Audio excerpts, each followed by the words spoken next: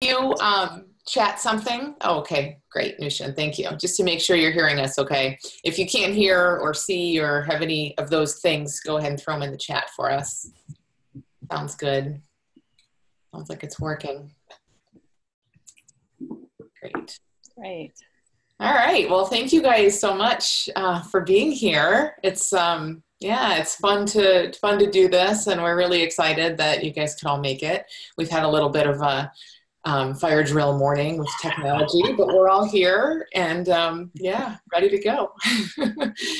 so, um, so I'll just kind of kick us off, and I, I I'm going to let everyone sort of introduce themselves as we go because we have a a bit of a format where each of the five of us will be sharing a little bit um, individually. So if you if you only know one or two or none of us, you'll you'll get to know us all pretty soon. Um, but we uh, we are five colleagues and friends who um, come to our work. We all have very different work, but it's all very similar. So we come to the work that each of us does from a shared understanding of how humans work, why we do the things we do, what's behind um, thriving when we're thriving in different areas of life, what's going on, what makes that possible, what's behind that. When we aren't thriving and we feel stuck and we hate life, what's behind that and what's going on? So that basic shared understanding is underpins everything that we all do. And on the surface, it's kind of unique. On the surface, we all are, you know, what we do and who we help and how we do it looks kind of different. So, um, Angus and Rohini love to work with relationships. Scott um, likes to do things in health and vitality and helps people in those areas. Barb is all about work and business and, and works with entrepreneurs and business leaders. And I like to help people with habits and anxiety. So if you look at it on the surface, it looks very different. But again, what's beneath it all is the same thing. And so um, we thought this would be a really cool opportunity to come together and kind of get into the weeds of, of these different areas of life because these are things obviously we all have. We're all in relationships, we all have health. Hopefully, you don't have too many habits or anxiety, but you've probably had them at some point. So, you know, it's it's all sort of these different areas of life different but again because the underpinning is the exact same because it's coming from this this one understanding what tends to happen is that we'll be sitting back listening to um, you know something about relationships and you'll have an insight about your health. Or like we see this all the time in our work. People come for business help or help getting over a habit and their relationship gets better or their health you know something else gets better.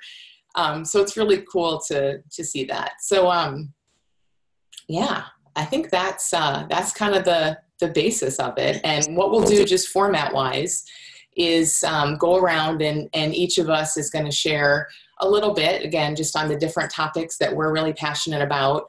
Um, and then we would love to take questions and open it up for quite a bit of conversation. So we won't take too long as we share. Um, and if you do have questions, I think the Q and A box is tends to be better than the chat for those and they are private. I mean, you can put your name, you can be anonymous or not. Um, but I think as we're as we're speaking, go ahead and put any questions that you have in the Q and A box, and then um, once we've all shared a little bit, we'll be able to address those. So, anything anything I missed, guys, or anything you want to add? That sounds great, Amy. Thank you. I'm just finding the Q and A box right now, so I found it. yeah, it should be kind of like bottom middle, I think. Yeah, sounds good. Well, welcome. Thank you, Amy, for setting this up. And it's so great. Thanks for introducing yourselves in the chat. As we have people from South Africa, Washington, Denmark, fantastic Canada. So it's great to spend time with all of you today. And, um, you know, Angus and I really, um, as Amy said, we really love working with people um, in relationships, helping them to have uh, an easier time, a more graceful time. And part of the reason we love that is because we really struggled and are so grateful to have come out the other side of that and to really be able to enjoy our relationship in a way that we've never really been able to um, before this understanding, even with all of the counseling, workshops, various things that we tried.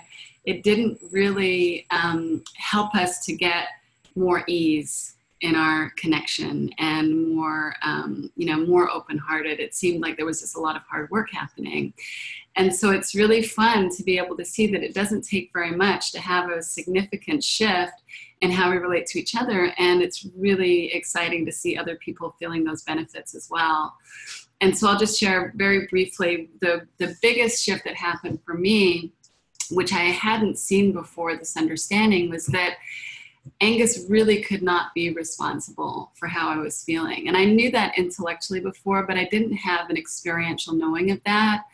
And so what that meant was that I would, um, you know, it just looked to me like his uh, mood was impacting how I felt, or his behavior was impacting how I felt. And it wasn't until I got a better understanding of the role of thought and creating my experience and really seeing that I don't feel him directly. I feel my thinking. And that as a result of that, what happened is I started to see what was invisible to me previously, which was all of this judgmental thoughts that were present.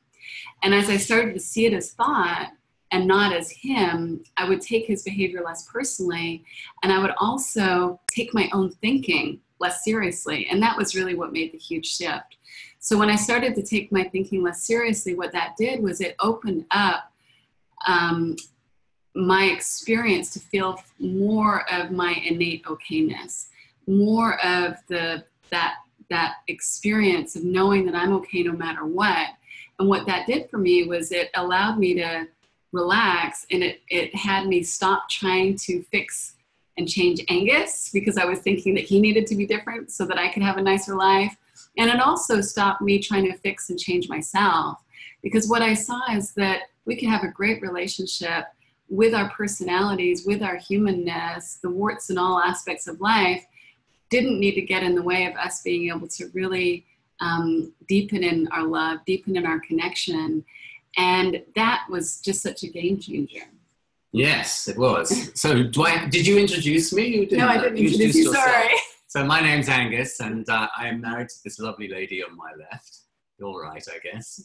Um, and I, you know, we're relationship coaches, and I and I sometimes laugh about, you know, you know, what are our credentials as relationship coaches? And I think that really, the ones that really stand out the most are the fact that, you know, we went through a very long period where our marriage was just super conflictual. And, um, and I think the fact that we were able to get through that, through being exposed to this understanding, I feel that anybody can heal their marriage based on what we went through alone.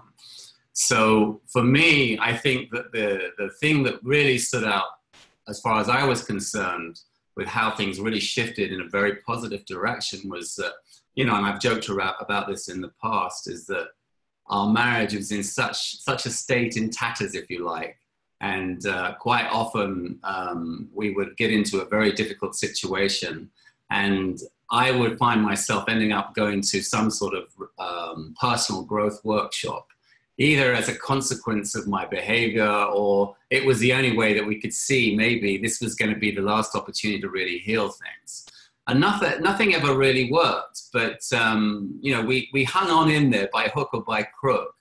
But the real shift happened after literally about probably 15 years of un- unadulterated suffering in many respects.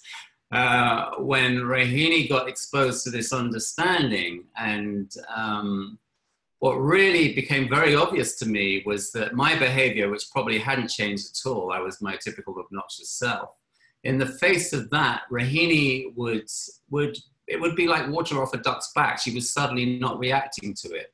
What is more, not only was she not reacting to it, but she was actually I could sort of register this sort of expression of compassion on her face as if I was suffering. And when I asked her, you know, to articulate what was going on, that was the essence of it. She basically would say things along the lines that, you know what, I see that you're suffering. I see that you're suffering with your thinking.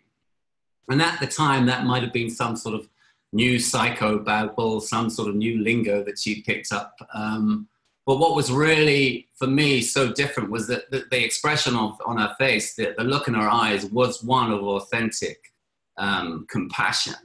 And that really, that really stood out to me and, and, and it piqued my interest. And from that point forward, I decided, yeah, I need to know more about what she's learned, and I need to know more about this understanding. And that's when I sort of began my quest to sort of do a do a mentorship program with the Pranskys. And really, ever since that point moving forward, it's been a case of me getting more acquainted with this idea that I feel my thinking and I don't feel my external circumstances.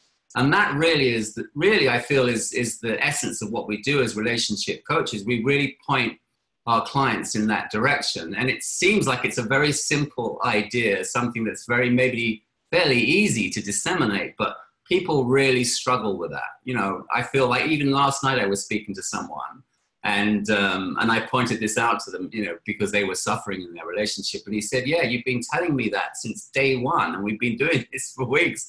And I said, "Yeah, you know, we're kind of I'm kind of a one-trick pony, but you have to get this, and when you do, everything will just you'll you'll just find everything will start slotting into place, and things will start feeling so much better." And I was really pleasantly surprised because I feel like you really got something last night. But that's kind of, you know, that's the essence of what we do. And I don't want to take up too much time. Time is short. But I really look forward to this, uh, this seminar. I can't wait to see you real time or in person. And with that, I pass the baton on to my good friend Scott Kelly. Thank you very much. It's always, always, always a pleasure to listen to you guys. I feel like uh, my relationship always gets better when I just hear what you guys are talking about. So my name is Scott Kelly, and uh, and I am I've been a health practitioner for for many many years, and um, and when I came across this understanding, I had a really profound shift, not only in myself but in what I began to see as possible for the the people that I was working with. So I'll give you a little bit of background as far as what I was doing in my work. So much of it was in and around uh, helping people with orthopedic challenges, back pain, knee pain, uh, shoulder pain challenges, um, digestive challenges, uh, mood challenges. And what I found before this understanding is I would get really, really caught up in people's experience. I get really, really caught up in what they were experiencing, their symptoms, how they were experiencing it. And I wanted to help people uh, get rid of their, their problem, get rid of their pain, get rid of the, the challenge that they were experiencing, which was what I thought I was hired for. But what I started to see when I came across this understanding was that there was something so much deeper behind the symptoms that could actually give us a much greater awareness of possibility for our health and well being that is far greater than just eliminating symptoms, but opening us up to possibility in the freedom of our body, the freedom of expression in the world, the freedom of movement, the freedom of being able to play freely, the freedom to connect more deeply in our relationships. And I want to share a little bit about kind of how I saw this. And that is that I started to see that the body is literally like a symphony. Moment to moment, there is a symphony going on at the cellular level with all of our cells, with all of the bacteria in our body, with all of the systems, with all of the organs. There is a giant symphony going on. And the great conductor of the symphony was vitality. Vitality is our innate, energetic, formless uh, life force behind everything. And it is the great conductor. But unfortunately, when we get out of sync with our vitality, when we get out of sync, we start to hear more noise in the system than we do harmony. And we start to pay more attention to the noise than the fact that there's an amazing source of vitality behind it all that can help self correct along the way. And as I started to see the impact of this understanding and how it in the body so that it can actually repair, rejuvenate, and, uh, and, and re-enliven, I started to realize that there was far less for me to do as a coach and a therapist and uh, and someone focused on physical therapy And there was far more to do in helping people see that there was an innate capacity to heal designed in every single cell of the body. And once I started to get onto that and help to point people in that direction, I saw that that health shifted for them in profound ways.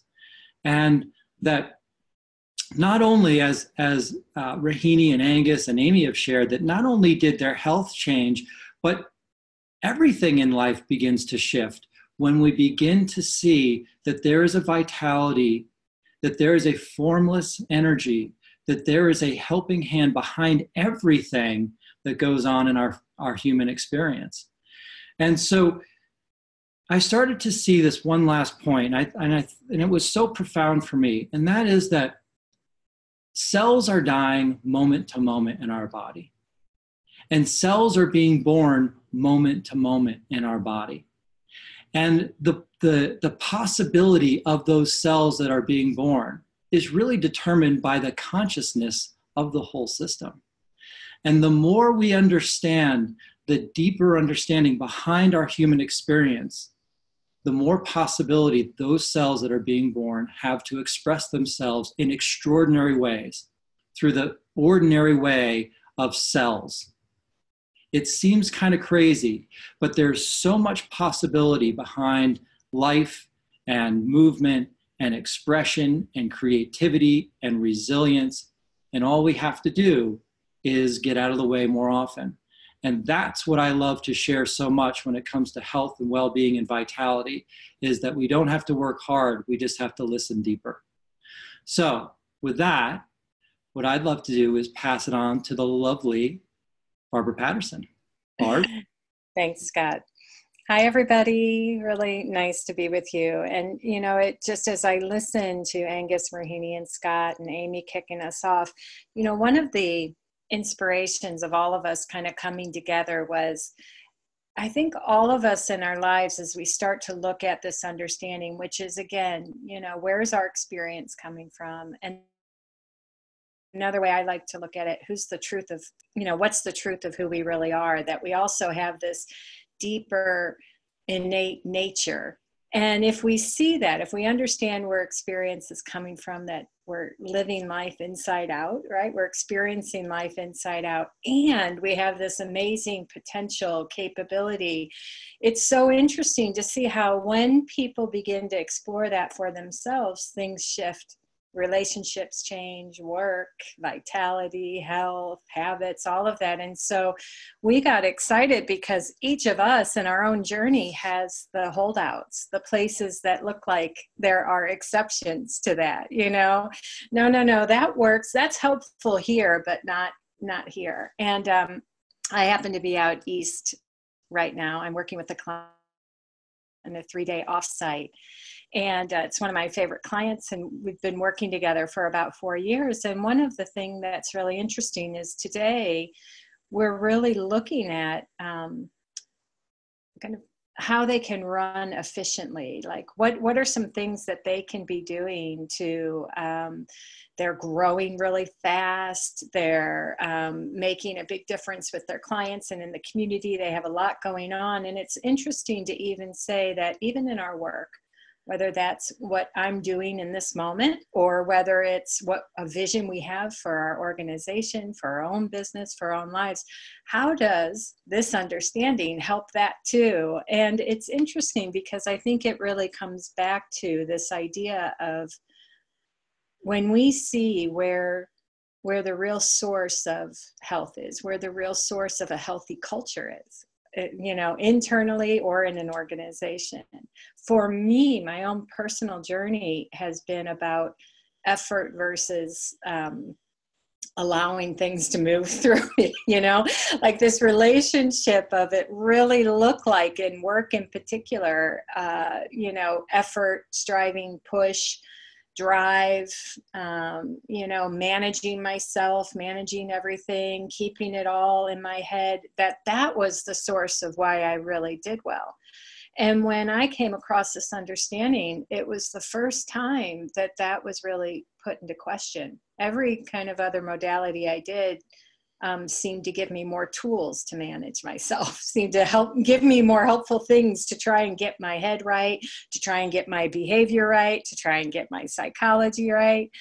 And yet it was so amazing to me that when I came across this, it was about a letting go of all those ideas and getting on a personal um, journey around no, no, no, what if what if there's something else available to us that's been really invisible to me or i've my relationship to it was very different.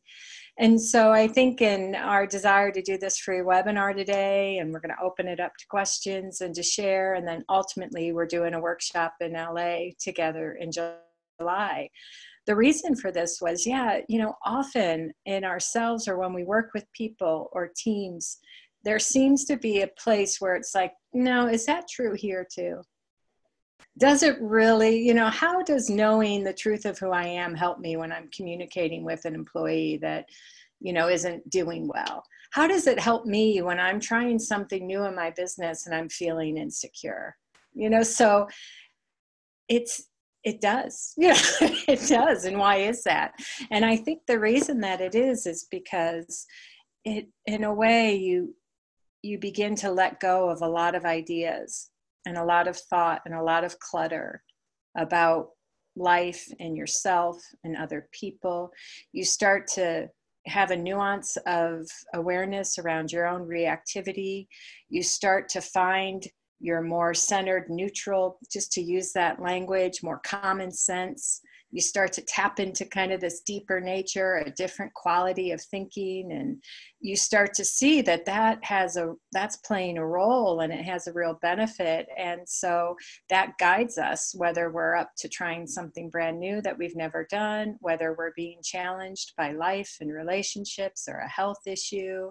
You know you start to see that the more we have that personal knowing like our own experience of that that it comes forward and helps us out no matter what we're up to so we're really looking forward to um, exploring that more and opening it up in a few minutes to everybody else but i just finally want to say that um, you know, kind of our work in the world. And the reason I just love that conversation is, you know, I've always been curious about kind of the contribution that we can be. And for myself, I used to think I had this special purpose, but I didn't know what it was. And so it was a big problem, you know. And it looked like if I figured that out, my whole world would be resolved. Um, and so it's been really profound and amazing and freeing and um, opened up a ton of new possibilities when I've let go of all of those mental constructs, all of those ideas. And I just started to get more curious and listen from a different place. So thank you, everybody. I'm going to turn it over to Amy. It's so interesting. I kind of feel like you guys said everything, but you know, it's because because we really are coming from the same place, but pointing to sort of different places, you know, and so much of what all of you said, um, uh, you know, you could just see it in every area of life, every single area of life. So around habits, um, I think, you know, if you look around out in the world, the way that pretty much everyone is trying to, is viewing a habit and then trying to fix a habit or end a habit is by seeing it as a big old problem. This is a problem. This shouldn't be happening. There's something wrong with me. This needs to stop. And then just attacking the problem. Now that has a certain logic to it.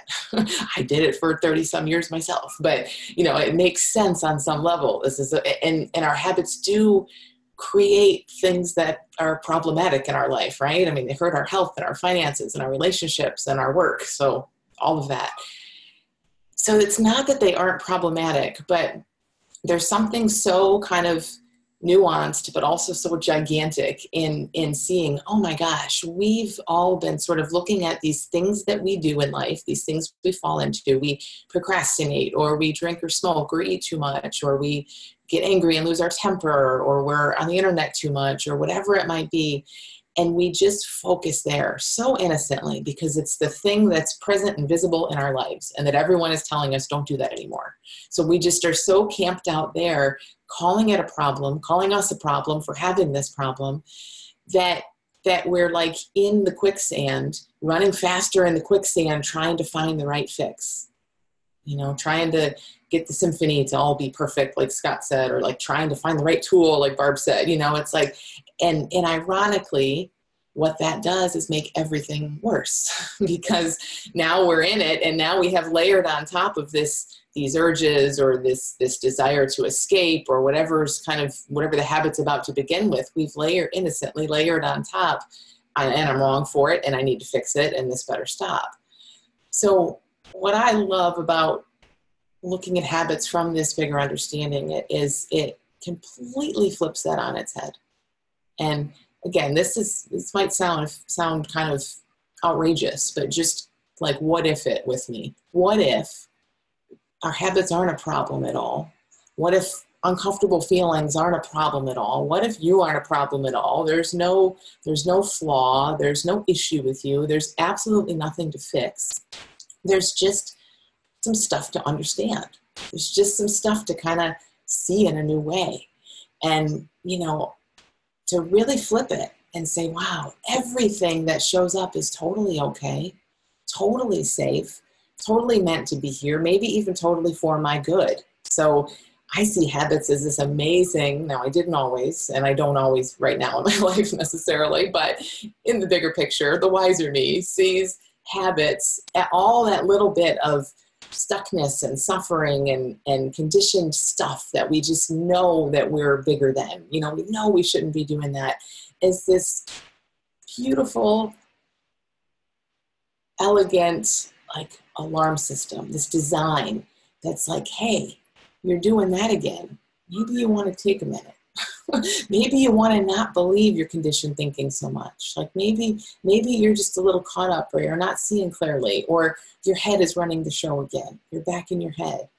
And if we can just start to flip things i mean it's a, it's really again like the complete opposite of what we're used to because usually that urge or that feeling that discomfort would arise and we get angry at it. We get afraid of it. We jump into action to bat it away and that always makes it bigger so, what if we just saw something about how we work so that we don't have to do that to ourselves anymore? So that we have this stuff arise and we somehow deeply intuitively know, oh, like that might be my brain. That might be my body doing that same old thing. It's the machinery. The machinery is doing what the machinery does, but I'm not the machinery.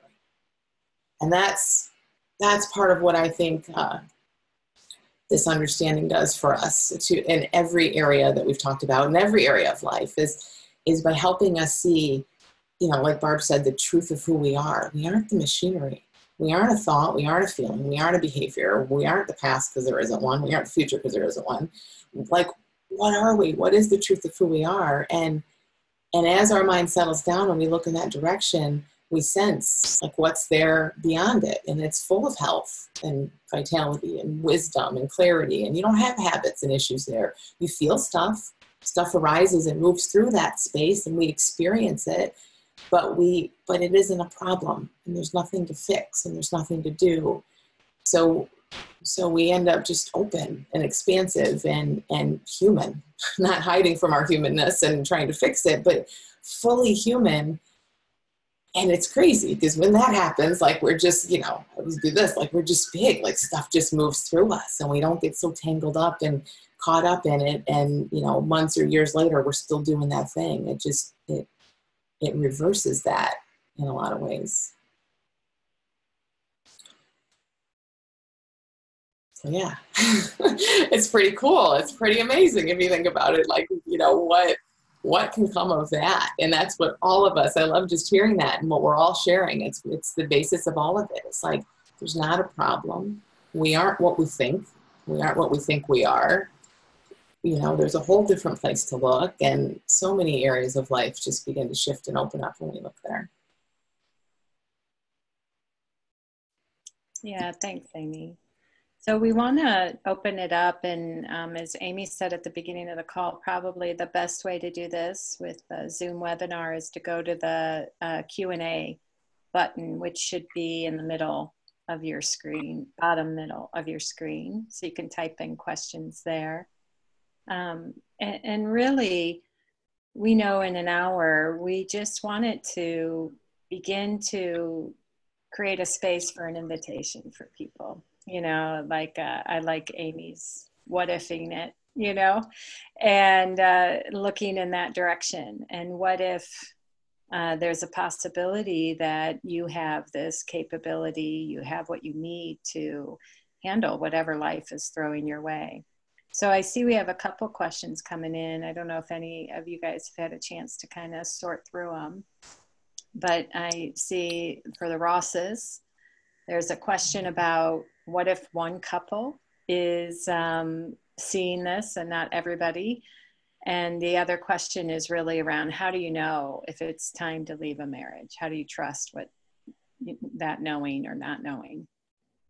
And we can uh, start there. I think um, in terms of the when one person uh, sees it, has the understanding and the other person does. I mean, that really was what it was like for Angus and I. I was interested in the understanding and was really impacted by it. And because of all of the personal growth things that I dragged Angus to do, initially he like he didn't want to know anything about it.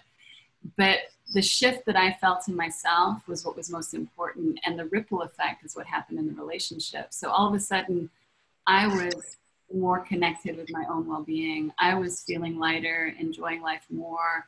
I was not taking Angus's behavior personally and you know he didn't, like he said he didn't know what had happened to me. And so that made the difference in our relationship. So from my perspective it doesn't require both people to see this but each of you will be impacted by it in various ways just because of the, the side effects of what happens when one person is more connected with their true nature and more um, resilient as a result of that um, and then in terms of the other question about knowing um, if it's the right time to leave a marriage, um, you know, obviously you have to listen to your own inner knowing. But what I can say is because I spent many, um, many years being married to Angus with one foot out the door, and it wouldn't take very much for me to be um, ready to pull that hair trigger and think I just can't be with him. This is never going to work. And um, so what I would say is if, if I was thinking about how to know if that was the right decision at this point in time, I would know that it would be coming from a place of love inside of myself. And one of the, the things in your question that you mentioned is that um, it's a lot of work to manage your thinking around your husband.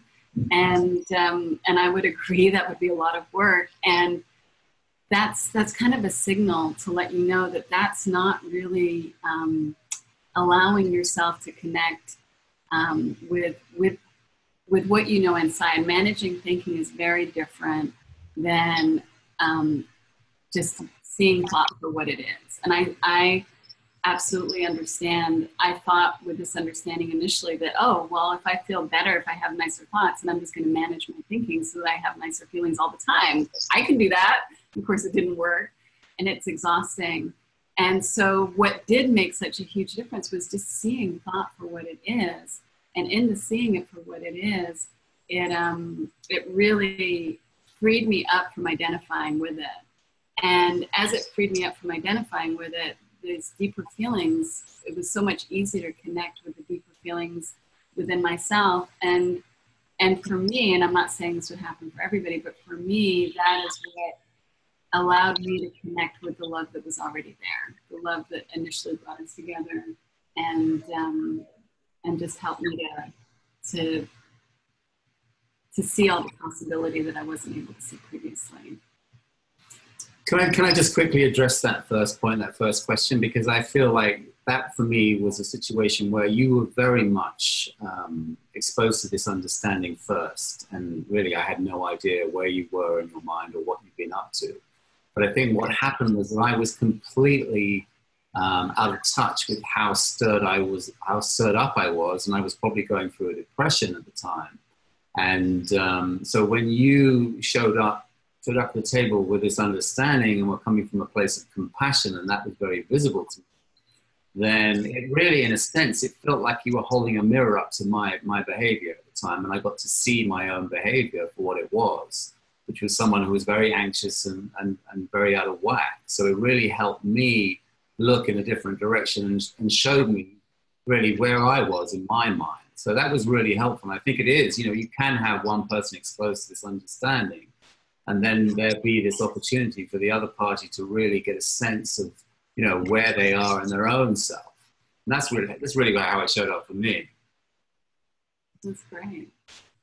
Yeah thank you. Thank you both. Um, scott uh, you've gotten a couple questions. Yeah. One i don't know if you've had a chance to read them if you want to kind of address those and um, not everyone can see the questions so sure so Cassandra's asking if um, if a quiet mind, let's go back. I just uh, if a quiet mind or peace of mind gives our new cells a chance to express themselves differently uh, when we are not in our thinking. You know the the the way that the way that I see this, and I think we can all see this if we just kind of reflect on uh, what our body feels like when we have less on our mind the way that I oftentimes express it is that when our mind gets quiet, our physiology gets quiet. And when our physiology gets quiet, we, we hold less tension in the body. And when there's less tension in the body, we have an opportunity to allow things to move through more freely, whether those are toxins, whether those are thoughts, uh, whether they are experiences, whatever they are, we have the experience or the, the, the potential to allow things to move through more freely and things don't get so caught up. When we hold tension in the system, innocently hold tension in the system, uh, things begin to accumulate in the body and they create and they generate inflammation throughout the system. And as Amy was saying, that's that's this brilliant, amazing alarm system letting us know that something something is off. But unfortunately, we don't look to this deeper level of understanding as something that's that's potentially available to us. We oftentimes look to the symptom and then get afraid of the symptom and start to address the symptom, and now we're tangled up in the weeds of the symptom. And by pulling the lens back and understanding that there is a deeper capacity within us that's available to us moment to moment, we can more uh, readily allow ourselves to be available to that through this understanding. Um, let's see, there's another question. Um, and you can come back around. Uh, Chris was asking, and I may have missed, I'll go back and look, but Chris was asking, uh, do you give protocols and tell people what to follow, or do you help them listen to uh, their own body? Well, the most powerful asset that we all have is our own innate wisdom. And as soon as we direct our attention outside of ourselves, we literally begin to distrust our deeper wisdom and we break rapport with that deeper part of us that has a deeper knowing about what would be most helpful for us, whether that's who to see as a health practitioner, what to put in our body, how to move, when to put ourselves to bed, there are so many ways in which our deeper wisdom can assist.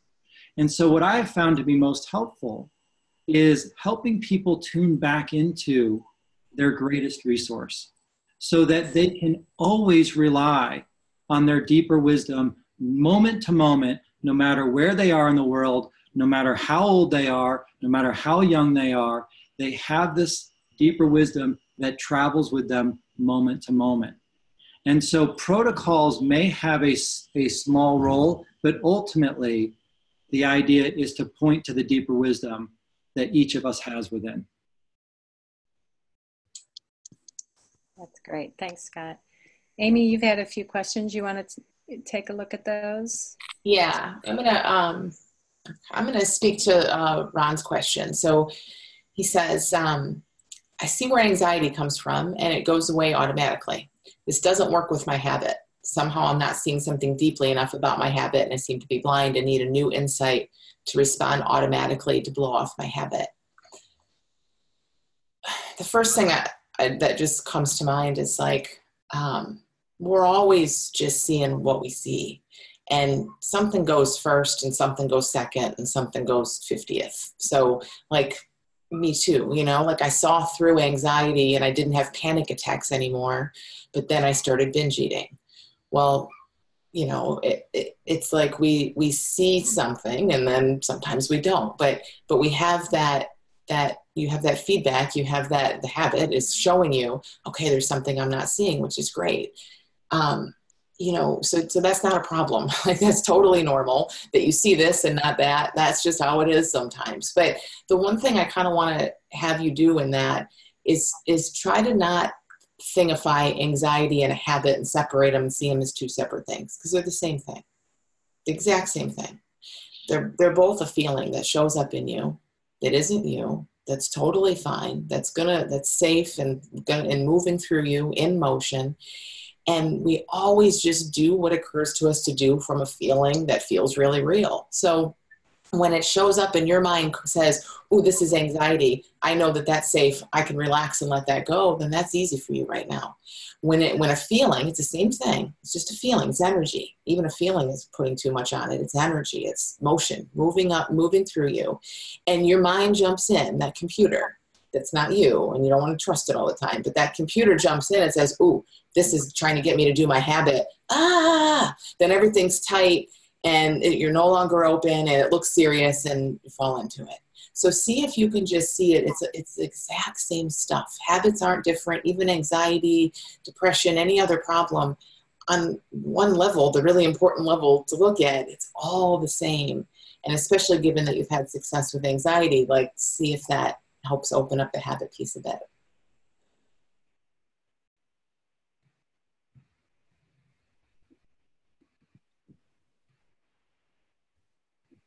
Go ahead, Rohini. Were you going to say something? Oh, I was just going to um, say um, for you, Barb. To I see a couple yeah. of questions coming your way.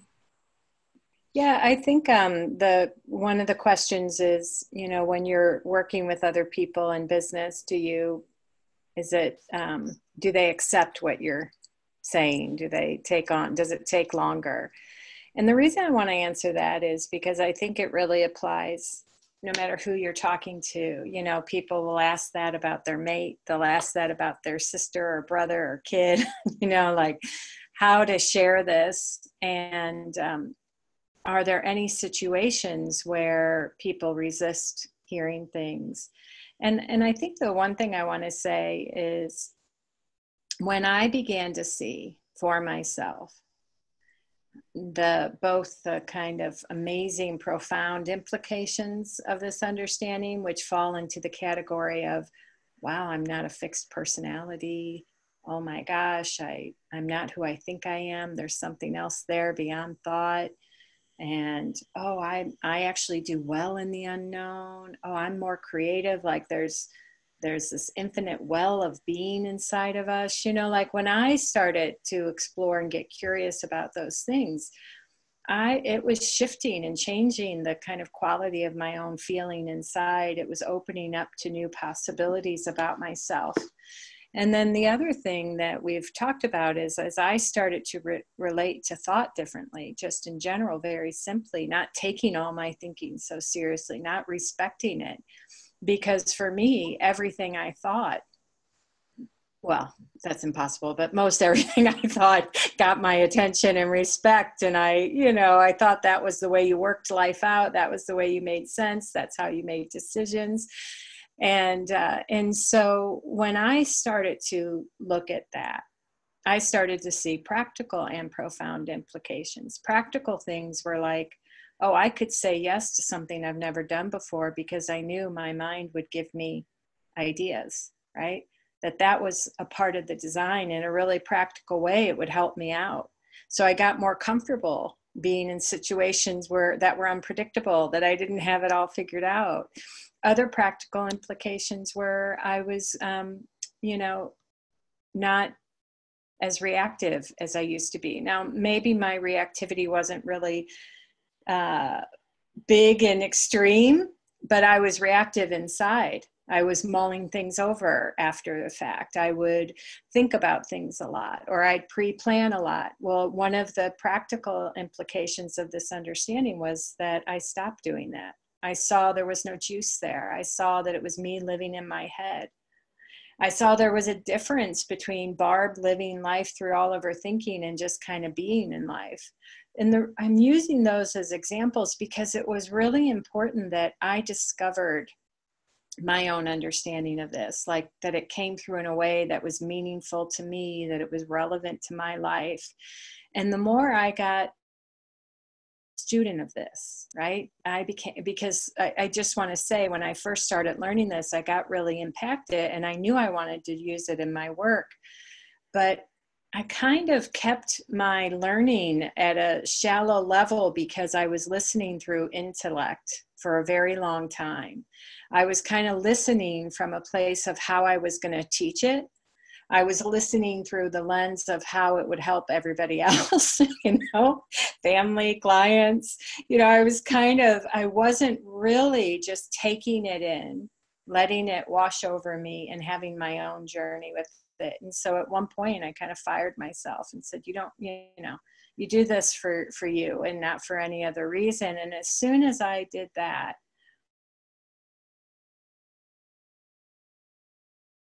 Now, once I saw it, that became, it made talking to other people much easier.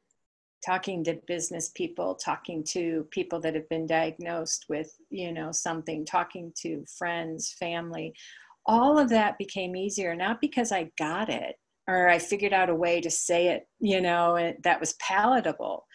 It all got easier because I absolutely saw it for myself. And then I just knew I had to show up and listen, whether it's a business or a friend or a client, listen. And then I know that in my presence and my listening, things will occur to me. I'll hear where the understanding will help them in their situation. So, thanks. Thanks, Barb. Angus, do you want to take um, this, this question? Sure. So there's a question here. I would really like to marry my mate after being six years together, but he feels not like we or slash he need it, saying he loves me and does not need to be married in order to have a great life together. How can I deal with this? I love a romantic celebration and commitment. Is it my thinking only that I feel impatient? This issue keeps coming up, even though I know it's my thinking. Well, I guess for me, what comes forward around that is that um, the most important way to have a conversation around this particular issue, and any issue in a sense that feels like it's maybe complicated or, or, or um, you, you moved the question for me. I need to. kind of, my wife's interfering with this whole process and, and, making it more difficult for me. I need to see the question. Okay. So um, it's the most important thing is to, is to maintain a position of neutrality because in that state your mind will at least be able to be open up to creative you know, opportunities and, it, and it's the same for him. So I, I think there's a danger uh, in having a conversation when you're feeling stirred up and obviously it's something that's important to you. But I think the most important probably approach around this issue would be just to sort of try and be conscious of maintaining a state of neutrality and have those conversations when you feel like you both have a settled mind. Because the danger would be to get stirred up, get a little bit wrapped around the axle because, you know, this is something, these are standards and expectations that you have and need to be met. But if he's not wanting to, to, to go in that direction and then you're feeling frustrated, the chances are that won't be a, a productive conversation. So the rule of thumb, as I see it, would always be to try and have that conversation when the rapport is good. And then at least then you'll have the opportunity to be able to maybe be opened up to more creative solutions, that you'll be able to access your wisdom in the moment. There'll be a little bit more clarity. And I guess, you know, in that sense, that's really, that's, that's the direction I would always encourage, certainly our clients to, to move in, is just to try and have those, what seemingly feel like more difficult conversation when the rapport is good, when, when there is that much greater scope to, to access that wisdom and your, and your creativity. So I don't know if that's helpful, but that's the way I see it. Hmm. Thanks, Angus. I'd like to go next. There's a lot of questions here. You see one for you, Scott? I'll let you go next if you do. I can take take a couple I see too. Um, I could take one from Melanie, who has a question about how she can help her nana, um, who's feeling old, um, and um, kind of caught up in the in the. Uh, uh, she she's going blind and is a bit unsteady in her physical state these days. She's so bright, but she's just so down about being old. You know, here's the thing one of the great paradoxes of of this understanding is um, to really help somebody sometimes it's most helpful to see something deep for yourself first. And and what i mean by that is that if um, if you can also see that your that your nana's okay it somehow provides a space for your nana to have kind of her own her own way of resetting and connecting with something that's deeper beyond her state of feeling old. Feeling old is is a, an accumulation of all of the ideas and thoughts that we have about where we are in life and uh, what we've done in the past and where we're going in the future. And all of a sudden it creates this physical experience where we find evidence for it. And it can seem really overwhelming. But what's also true is behind all of that is a, a way in which vitality is still at work. And um, by, by being able to see that for ourselves, we can also help to see it in other people. And when we can see it in other people, it gives them permission to trust that they have it too. And so part of that, I, I think really kind of the meat of that question is really about um, being curious about how this is true for you already um, and then seeing what occurs to you uh, in conversation with your nana and see what arises there. Cool, thanks, Scott. I'm gonna, um, I see like four or five that are really similar, so I'm gonna see if I can, it's a big challenge, but I'm gonna see if I can kind of address all of them in one. So i am going to read Paul. So Paul says, if my habits and anxieties are just thoughts, my brain, the machine, my brain is the machine that does that thinking. I think I'm slowly getting that. Awesome. But then who is the I that's having the metacognition or with which brain am I thinking about my thinking? So that's very similar to uh, a few other questions here around the hardest thing for me to understand is if we're not our thoughts and we're something else, who are we? Um, someone had a question about distinguishing it's hard to distinguish between my thoughts and me, and how do I do that? So um, it's a nice, easy one. Um, I'll just say some things and see what lands with you. First of all, I, I think you know, for me, what's been really helpful is in is in looking, and I think for a lot of people, because people tend to talk a lot about thought, especially around this understanding, right? Again, it's it's kind of like our habit. It's like the thing that we see, that we feel, like we see the effects of it, like we feel it, we experience it. It it's it's something we're very used to. So this this constant narration that's happening in our heads all the time and it's happening visually and and we can hear it and we can feel it and all of that we just live in a sea of of thinking and experience it's really helpful sometimes to just keep it really simple and say wow i'm feeling and experiencing all of life through this moment to moment thinking. It's the only way I can experience anything in life. And there's something beyond that. I don't know what it is. I mean, I, you know, even if like I have a feel for it myself, what's beyond that? and I could put some words to it, but that would probably just muddy your, and it wouldn't even do you much good. Like you kind of get your own feel for it. But what I think is super helpful is just seeing that there's something.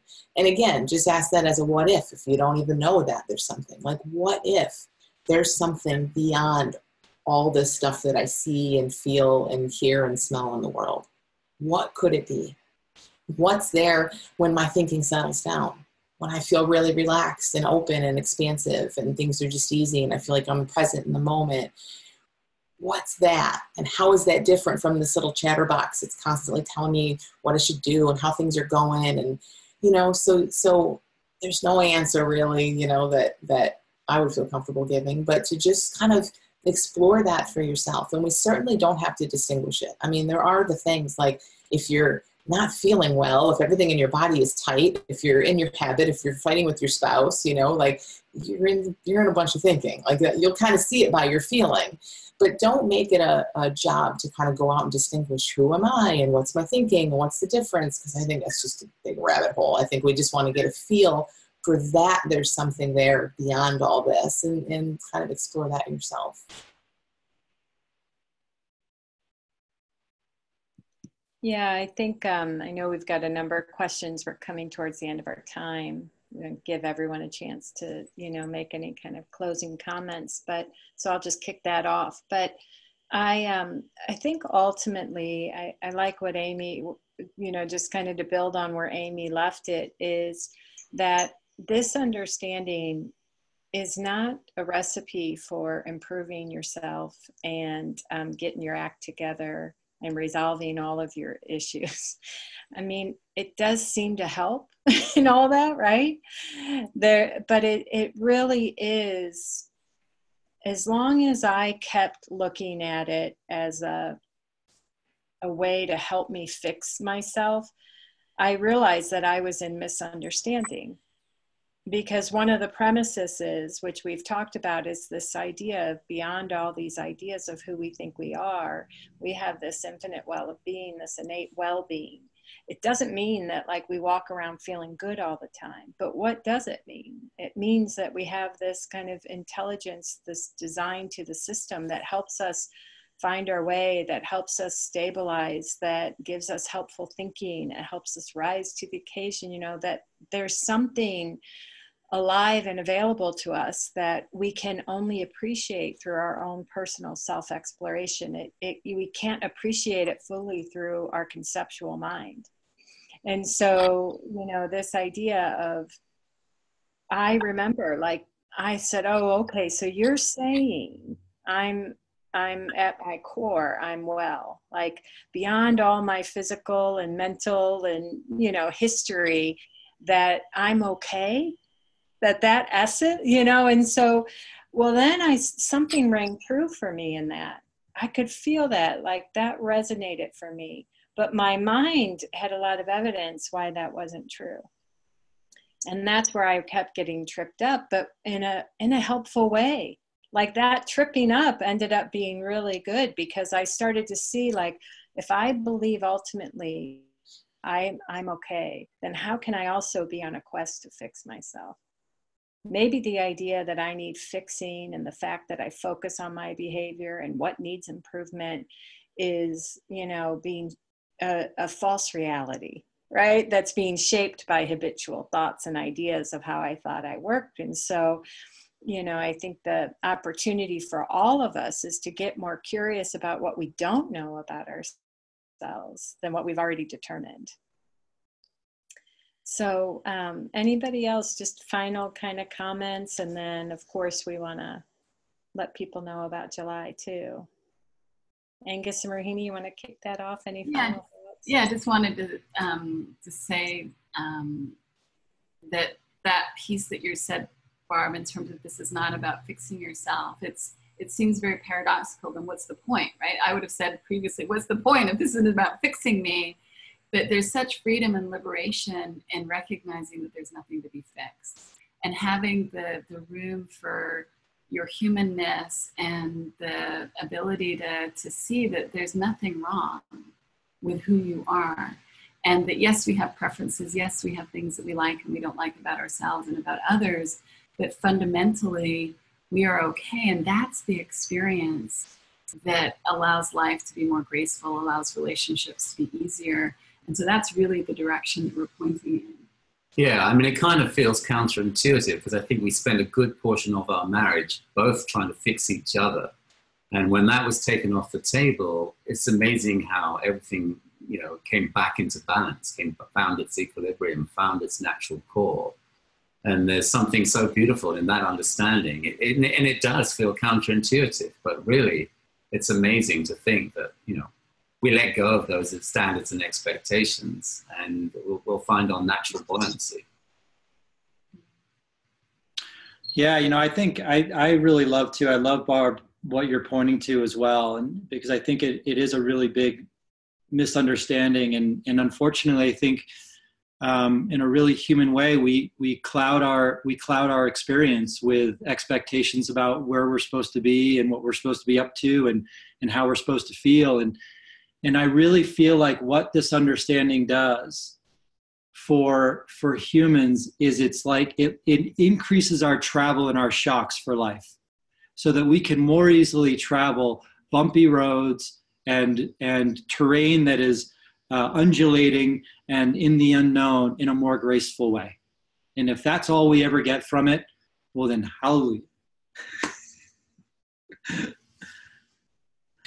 I'll just quickly add there was a question we didn't quite get to about um, about how it appears that we've had a shift. We've each had a shift, and do people have to shift, and how that works. And you know, I, I think it, it it ties into what we're all wrapping up with here, which is like seeing that we're always shifting. Like we we are well we are we are made of health we're made of vitality that is our nature and we're designed to thrive not just fix problems, not just like fall into holes and dig our way out. Like we're our design is such that it wants us to thrive in all of these areas that we're talking about and every other area of life. And that was just so took so much off me to learn when I first was coming across this. Like, oh, there's momentum in favor of everything kind of, you know, landing and working out. And it's beautiful to see more about that. Right, I think we're at time. So it's been a lot of fun. We're so grateful to all of you that showed up live and those of you that are listening after.